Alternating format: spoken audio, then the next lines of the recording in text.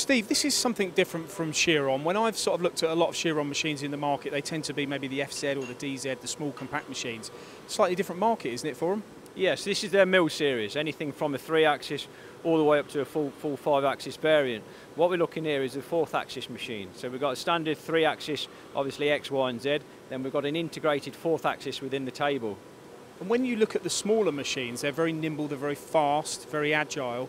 Is this got those similar hallmarks as well? Is it fast even though it's in this configuration?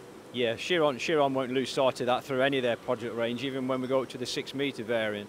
So what we've got in the back there, we've actually got a fixed head, but you can get a five axis head on there as well. So yeah, all about chip to chip time and the cost per part. Would I be right in suggesting that the tool magazine moves with the spindle as well on this? Yes, obviously to en enable the quick chip to chip time, um, then obviously the, the, the, tool carousel follows it through. So the door drops back, tool, come, tool comes straight through. You know, you're talking less than a second tool change time. And when you're moving at that sort of speed, is the machine stable? You know, you don't, you're never going to have a, a, problem with accuracies if, if the thing's you know moving around because it's moving so fast. Yeah, I mean we've had the luxury of going through the build base there, and you've got a solid concrete base throughout, and all these um, travelling column machines are built on top of that. Would, would you get involved in many turnkey projects on this sort of machine? Do you think?